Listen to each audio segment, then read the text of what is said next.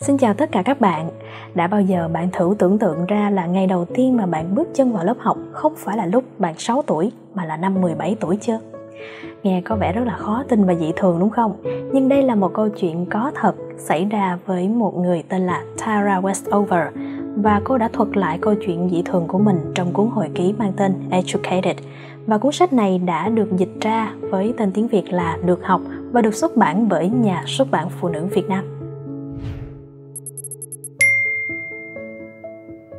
Câu chuyện bắt đầu ở miền Tây nước Mỹ, bang Idaho bên ngọn núi Buck, nơi chiếc xe bus học sinh không dừng bánh khi đi ngang ngôi nhà của gia đình Westover. Tara, người con út trong gia đình 7 chị em, không được đến trường và thậm chí không có giấy khai sinh, tức là về mặt pháp lý, Tara không hề tồn tại. Điều này xảy ra sở dĩ cha cô là một người cuồng tín theo Mormon giáo. Ông đã từ bỏ mọi tiện ích công cộng như điện, y tế và giáo dục công, đồng thời tách biệt khỏi tất cả những gì liên quan đến chính phủ và sống một cuộc sống tự cung tự cấp. Cha của Tara là một người đàn ông hà khắc, tính khí thất thường và áp đặt rất nhiều điều lệ, quan điểm sống của mình lên toàn bộ gia đình. Theo ông, giáo dục công chỉ là một âm mưu tẩy não của người dân chính phủ. Vì vậy, Tara đã không được đến trường từ nhỏ như những người khác. Thay vì vui chơi và học tập, cô phải dành thời gian làm những công việc hết sức nguy hiểm trên các bãi phế liệu kim loại cùng bố hay đôi khi là pha chế thảo dược cùng mẹ. Tuy nhiên, may mắn thay, cô cũng được mẹ mình giáo dục tại nhà để học cách đọc và thực hiện các phép tính đơn giản. Không sách giáo khoa hay tiểu thuyết, cuốn sách cô được đọc chỉ là kinh thánh. Sau khi chứng kiến một người anh ham học của mình, Tyler, dũng cảm rời khỏi nhà và theo đuổi con đường giáo dục, Tara đã được truyền cảm hứng và nhận được sự khích lệ để nối gót người anh trai của mình. Tara đã tự tìm tòi và ôn thi để đậu vào BYU, Brigham Young University, với tư cách một sinh viên không có bằng tốt nghiệp cấp 3. Đó là năm cô 17 tuổi, khi Tara lần đầu tiên được bước chân vào một lớp học. Mọi thứ ban đầu không hề lý tưởng. Tara giống như một chú cá mắc cạn, hay nói chính xác hơn, có lẽ cô giống như Tarzan vừa rời khỏi thế giới rừng già và du nhập vào cuộc sống của loài người. Michelangelo, Holocaust, thời kỳ khai sáng, Scotland chắc hẳn là những từ ngữ, cái tên quen thuộc với nhiều người. Nhưng với Terra, chúng chỉ giống như những lỗ đen trên trang giấy. Sau 17 năm đầu đời không được đến trường, Terra trở nên tụt hậu, mất thăng bằng vì bị mất đi một lỗ hổng kiến thức vô cùng lớn về nền văn minh nhân loại. Theo đó cả góc độ vĩ mô và vi mô. Chúng ta không biết những gì mình không biết. Đôi khi Terra không thể phân biệt được điều gì là đúng, điều gì là sai. Cô chỉ hành xử theo bản năng của mình. Tara giống như một người đến từ thế giới khác, vì vậy mà cô khó có thể hòa nhập với mọi người trong cuộc sống thường ngày, bởi cách cô nói chuyện, hành xử và sinh hoạt đều có sự khác biệt rất lớn. Ngay cả việc rửa tay sau khi đi vệ sinh, với Tara cũng từng là một vấn đề gây ra mâu thuẫn.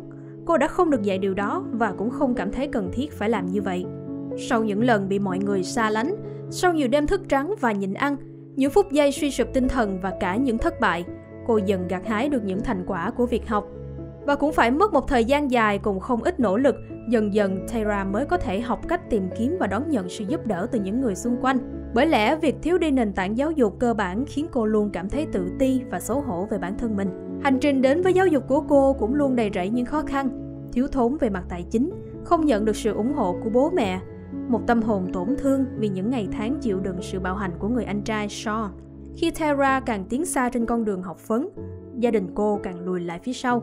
Cô học được cách kiến tạo nên con người mình và đau đớn nhận ra bản thân cũng đang dần trật ra khỏi bức tranh về thế giới bên ngọn núi Bắc mà bố mẹ đã vẽ nên cho cô trong suốt thời thơ ấu.